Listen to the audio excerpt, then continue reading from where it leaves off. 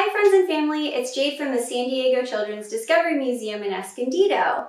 And for today's art activity, I am going to combine a chemistry experiment and painting. So what is a chemistry experiment? Well, it can be when you combine two different substances and they become something new. So the chemistry experiment that I'm doing today has baking soda and vinegar. So let's see what happens when I combine them.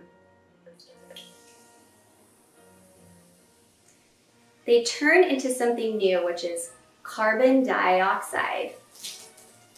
so let's see what kind of painting I can make today with my chemistry experiment. First, I'm going to put a layer of baking soda on a piece of paper. This will get messy, so I'm using a baking sheet under the paper. The best paper to use for this activity is watercolor paper. Then I'm going to mix my paint. I'm using a couple drops of food coloring and adding one tablespoon of vinegar. The best way to see a chemical reaction is to use a dropper, just like chemists do in real life. And then start dropping your colors onto the paper. You'll see it gets really fizzy because this is a chemical reaction.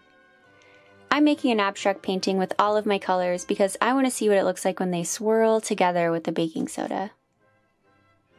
When you're happy with the way your painting looks, you just have to wait for it to dry before the last step. So I'm going to add a little more color to mine before letting it dry.